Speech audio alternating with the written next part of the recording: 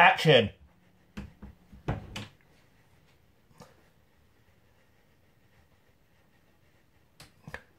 Stop there. Stay where you are, Alf.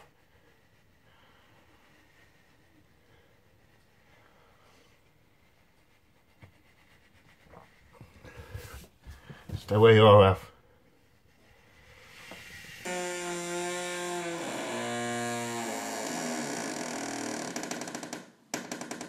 Hello there guys and welcome yet to another tutorial and another video. Um, so today we're going to be doing uh, this.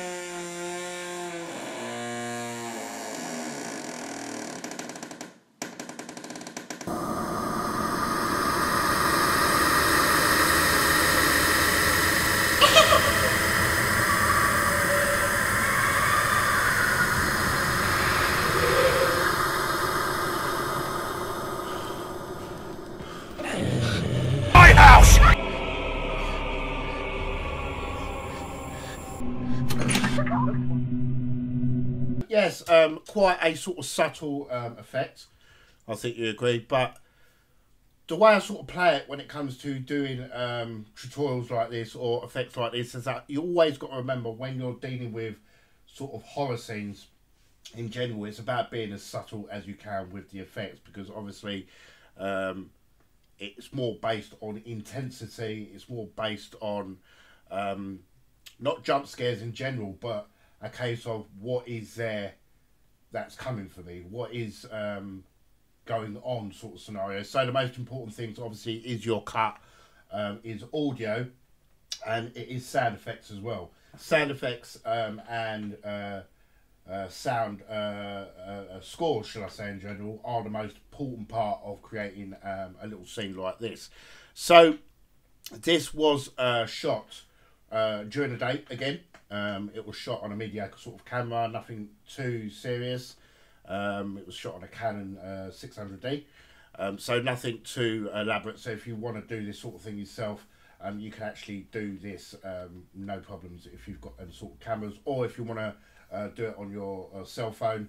If you've got like a really good camera on your cell phone, you can pull off shots like this as well. It's just about planning your shots um, and making it basically as eerie um, as possible. So it's all to do with sort of like the edit, how you plan your shots. Uh, in this part here, as you can see, I used a slider to sort of zoom into the door um, as the door was opening. Very simple effect to pull off. It was a case of my son was on the other side of the door. Um, I told him as soon as I start moving, I'm going to shout action when I want you to start opening the door really slowly. You've got a lovely little effect like that, and there's nothing um, been done special effects wise in that. So there are a couple of little effects in this shot um, of a couple of ghosts from the Conjuring 2 films. I will add them in the link in the description below so you can sort of play around with them. Um, one of them is Bill, and Bill is fully animated and he is a PNG sequence. Um, he is matted so you can basically place him straight over your clips uh, straight away and make him a 3D layer, do whatever you want. So, needless to say, let's just get right into it and jump straight into uh, the tutorial. Right, so we are in uh, Premiere Pro at the moment, and the reason why we're in Premiere Pro is because I wanted to show you um, the cut itself, which is obviously the most important part in putting a horror scene together. Uh, um, as you can see here, most of it is audio, and this is where you're going to get the effect from.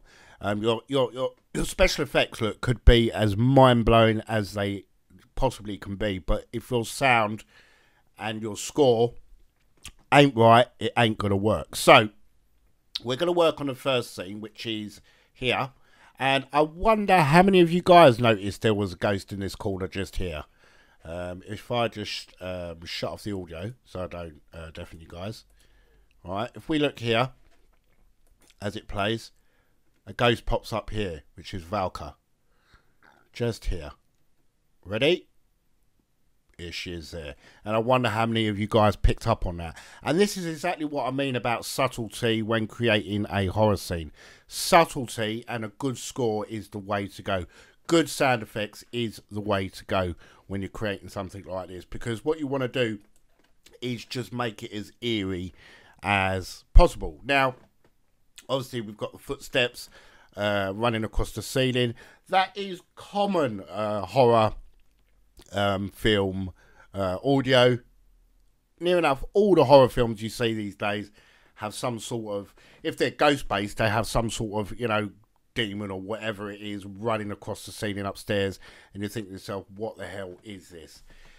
Now, what I did obviously is implement a really a, good couple of elements to this. Um, if I just scroll through it here, obviously we've got the door scene, um, which uh, worked out pretty pretty cool. Um, just here, and as I walk down here, my five-year-old wanted to be a part of this, so here he is running, pretending to be um, a ghost. Uh, which just adds to the production value. All these little things that you can add to it really sort of bring uh, the effect of uh, haunting uh, to life. So let's jump into After Effects, and um, I've got Valka here. So let me just close that. I've got Valka here. Um, she is very subtle. Let me just go back to her layer. Uh, she is quite subtle, Valka. She is right there. Um, and she does move. If I just bring that across, as you can see, she does move quite subtly, um, and her lighting changes. So we're going to implement her into the shot, which is going to take a bit of color grading, um, and I'll show you what I did with that. So let's just go back to the main comp, and this is it, broad daylight, as you can see. And what I've done here, I've put a spotlight here, right here, to give a reflection off the fridge.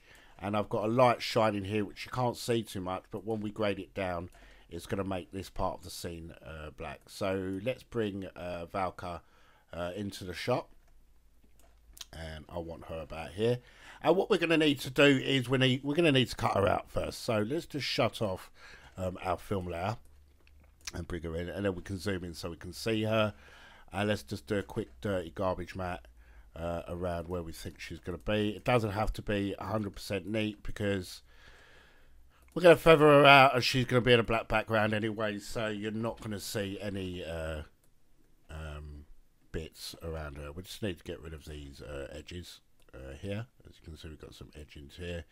So we can sort of pull our mask down uh, so she's feathered out. Let's do that now.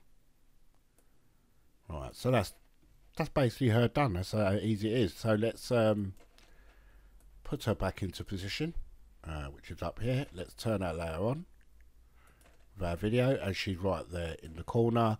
What we're going to do is um, we are going to uh, color grade this. Now I've done this color grading uh, all in Premiere Pro. So what I basically mean by that is I rather work with Premiere to edit the cut and then add these simple effects uh, with After Effects composition uh, while I'm editing because it makes the workflow a lot more easier. So this scene was already um, graded. So let, us just add a curves to that, right? Um, and I'm going to show you exactly what I mean. So I'm going to bring the curves down. Yeah, and you can see the nice light in here. Um, I can go to Valka and then I can add curves layer onto her as well. Uh, let's go color correction, let's go curves and let's just punch her up a bit so we can sort of see her and then when you add your sort of final grade um, you can uh, fix that later so let's just bring this down a bit and then it's basically a case of uh, selecting Valka and then just moving her sort of into position there so um, we could fix um, the the uh, masking around her um, as we go along, so we can just bring the mask up just to make sure um, she's sort of blended into the scene uh, a lot better. So that's how simple it is. So if we play that back, um,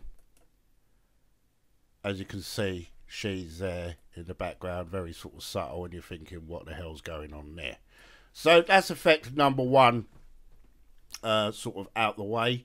Um, it's so straightforward, guys. It's unbelievable. It's a case of playing around with um, the way she looks, and obviously, this is not the final grade. Um, and I'll show you the final grade uh, once we jump back into Premiere Pro and we've got these effects in. So, uh, let's move on to the second um, effect. So I'm going to import another piece of footage, uh, which is Bill. I will also, guys, include Bill here's Bill here uh, in the description below. So I'm going to select him. He is a PNG sequence, so make sure you import him as a PNG. Um, and then I'm going to import the clip that I used uh, to do my jump scare, which is all my footage here. Uh, just got to make sure I get the right piece of footage, which is, should be here. Um, I'm just going to uh, bring that into a new comp. Here, I'm just going to edit it down as I go back and as you can see it is in broad daylight so I just cut it say about there so let's just trim that because that's where the effect happens and like I just said guys you would replace this with an After Effects composition while you're editing it in uh, Premiere Pro uh, which is the easiest way to add your effects well it's the right way anyway. So let's just trim that. And um, I've got Bill here so I'm just going to drop Bill on so we can actually see him. Put S on the keyboard, and then I'm just going to scale Bill up. Now, you can track Bill in if you want, uh, but you don't have to, um, because like I say, it's going to be dark anyway, and he is very, very subtle anyway, so he's, he's just, he just pops up literally seconds. So there we are, Bill's there. Let's just, uh, moving around a bit. Now you can sort of keyframe in, but first of all, what I'm going to do, guys, is I am going to come to my video layer. I'm going to Control D that to duplicate the layer. And with the one that I've just duplicated, I'm just going to shut Bill off for now. And I'm just going to do um, a rough garbage matte uh, around here. Let's just put that around here. Like that. And then I can play around with this garbage matte in a minute, okay? Um, so, oh, I didn't want to do that. Um, let's just put this over here so I don't lose it. Right, so I'm going to get Bill. I'm just going to drop him below uh, in the middle, shall I say, and now he's behind. I'm going to get my uh, footage and then I'm just going to play around uh, with the actual garbage matte itself, okay, to put it into position. And basically what we're trying to do is we're trying to get a Bill basically behind me, which is what we've done uh, in this scene here. Uh, let's just select my tool. So about that pops up. Usually I use dual screens, so well I do use dual screens. Now just bring these around. If you want to add some more points, go to your mask and just add some more points there, uh, just to make the uh, layer more neater to play around with. And you can sort of play around with this mask as much as you want really uh, to get Bill in the right place. Now obviously, I know what you're thinking, Carlo. That doesn't look very real because of this. But once you add your color correction um, and your grade, um, this is going to look pretty goddamn cool. So um, let's just bring this in.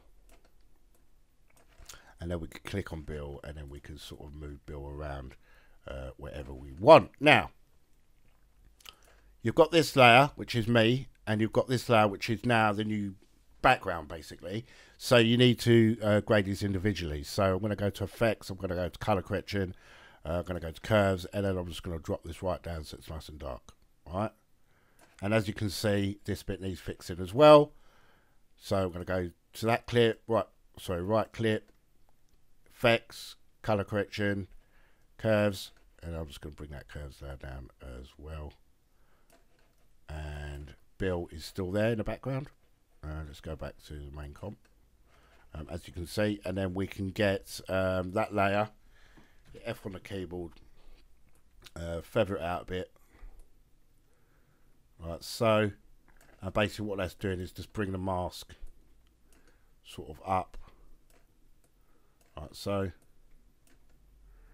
Just so he pops up uh, when you're ready. So you you would play around with this with, with, with this colour correction, don't get me wrong. You know, there we are. It's a simple garbage matte. It's starting to look okay now.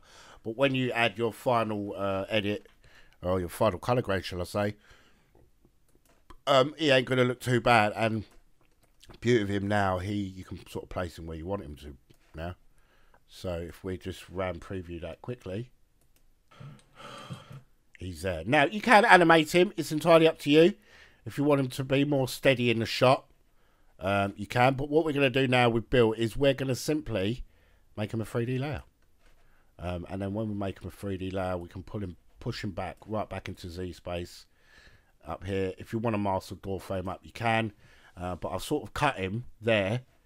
If we look at, uh, let's go back here. Let's double click on Bill. Um, if you look here, I've cut him straight down so you can put him up against the door frame um, straight away, really. So let's just go back to the comp. And there he is there. And you can sort of... Normally I would track this, but there's no need because it's so subtle and it's so quick, this clip.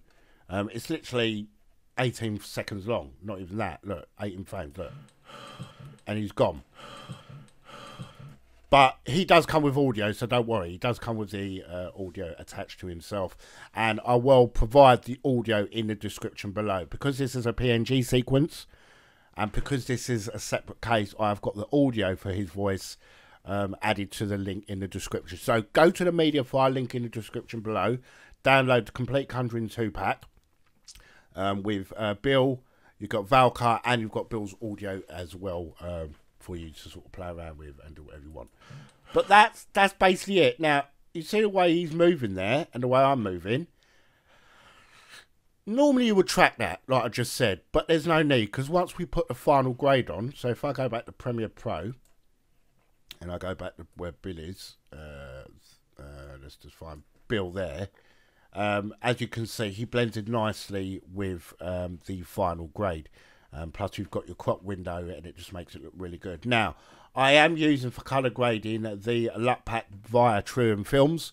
Um, and I will post a link in the description below where you can pick that up. It's only like 40 bucks, and it is the best uh, LUT pack I've ever used in my life. Um, it comes complete with uh, LUTs for all sorts of different movies. As you can see, if I just click on them, and you can sort of change the way uh, the look of your film looks uh, to the to the respect of certain films that are out uh, now or out on Blu-ray or out in the cinema, so on and so on. So it's entirely up to you um, how you sort of do that. Like I've just said, guys, it is mostly based on editing.